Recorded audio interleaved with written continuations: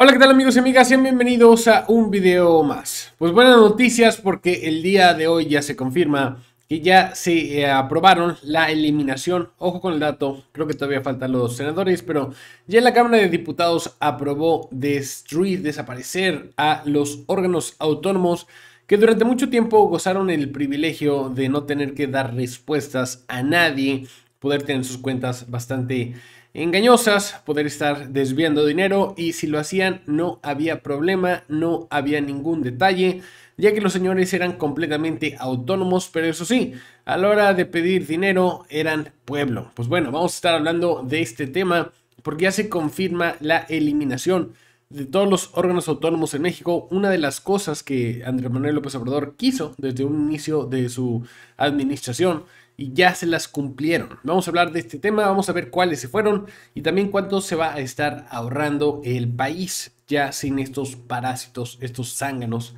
ahí en la, en la, pues sí, trabajando en el erario.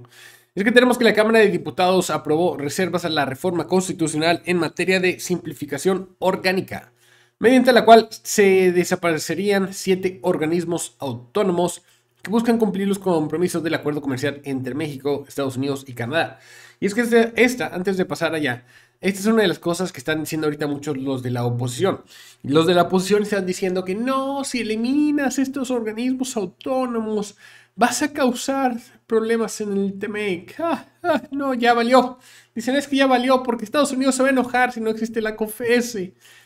Y no, el detalle es que no lo van a hacer. ¿Por qué? Porque realmente algo que yo les había comentado hace algún tiempo y muchos me tildaron de loco, no hay problema, ahora sí que eh, eventualmente siempre el tiempo me termina dando la razón, así como con Bitcoin. Bueno, en este caso, el detalle es que yo les había comentado que México está homogenizándose con Estados Unidos y con Canadá. ¿Por qué? Porque existe una agenda para unificar Estados Unidos, México y Canadá en, en un convenio similar a lo que es la Unión Europea, pero esto sería la Unión Norteamericana. Se está buscando y para lograrlo se tiene que igualar, por ejemplo, los, los salarios. En primer lugar. Dos, la, el gobierno, las leyes, tienen que asemejarse entre una y otra. De esta forma se unifica Norteamérica bajo una sola bandera. Es una clase de Unión Europea en la Unión Europea también siguen prácticamente las mismas reglas, todos en conjunto. Y se gana el mismo salario mínimo en lo general, entonces entre cada país. Y esto es lo que se está buscando hacer acá. Es lo mismo. Y para hacer lo mismo, tienen que homogenizar a México con Estados Unidos. Bueno, para que vean, eso lo dije desde hace buen rato y muchos sí me llamaron que no sabía, que no. Bueno, ahí está. Vamos, es más, de hecho ahorita van a ver que quien lo dijo fue Brad. Para que vean, para que vean. Pero bueno, vamos a ver. Dice, luego de seis horas de discusión, los legisladores avalaron en lo particular con 332 votos a favor y 119 en contra y cero abstenciones la reforma constitucional que extingue el estatus actual de instituciones como la Comisión Federal de Competencia Económica, el Instituto Nacional de Transparencia, el INAI, y el Instituto Federal de Telecomunicaciones. Ahora pasará al Senado de la República. Sí, en efecto, o todavía falta un proceso más. Bien, ¿qué va a quedar? Eh, realmente lo que, no es que se vaya a desaparecer, sino es que se va a pasar al gobierno. Eso lo que va a permitir es que ya se le pueda exigir cuentas.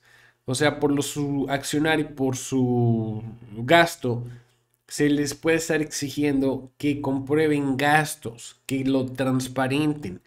Y esto es lo que les encantaba tener, no tener que estar diciéndole a nadie qué estaban haciendo.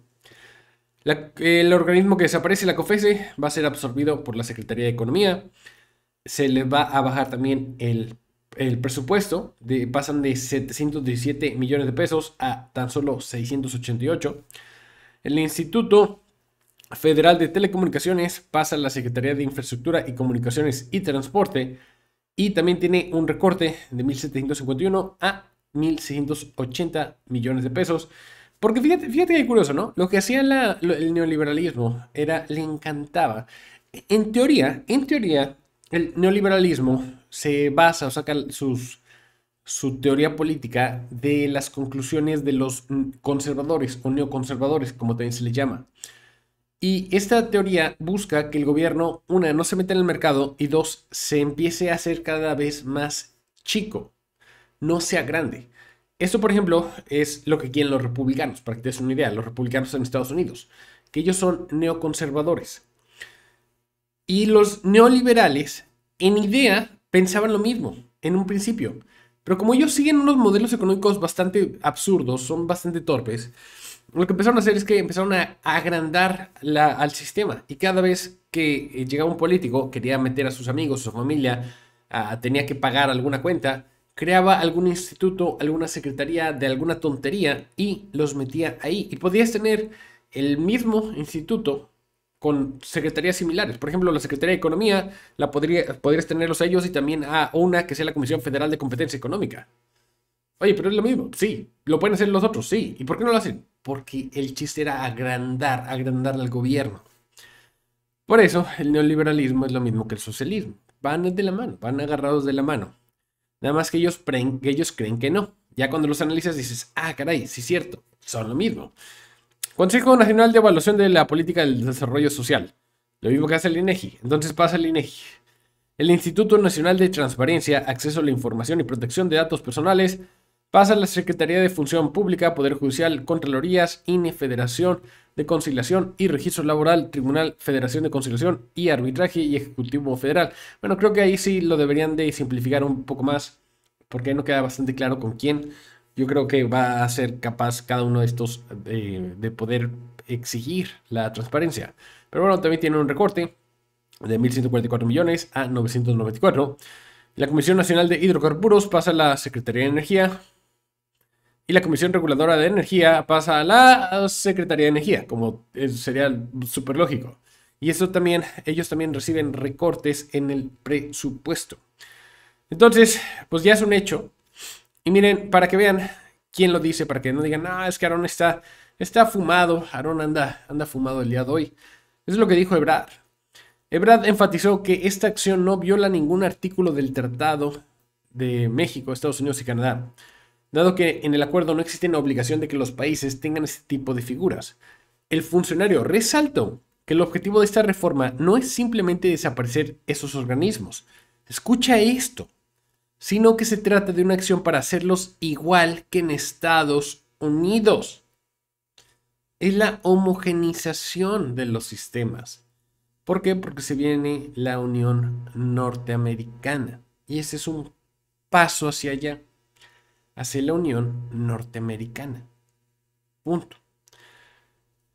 En, este sentido explicó que lo que se está haciendo es una reforma para hacerlo casi exactamente igual que en Estados Unidos, es decir, con independencia técnica y de carácter nacional, con el objetivo de impedir los monopolios. Bueno, él hablaba de la COFESE, realmente si quieres impedir los monopolios tienes que desaparecer cualquier organismo porque no funcionan así los monopolios. Pero bueno, eso será una plática para otro video. En fin, si les gustó el video, por favor, acompáñenme dejando su like. Ustedes que creen al respecto, digan, háganme saber sus comentarios. Quieren o no la Unión Norteamericana. Yo los voy a estar leyendo. Así que dejen sus comentarios y también dejen su suscripción. Los veo en el siguiente video. Cuídense mucho.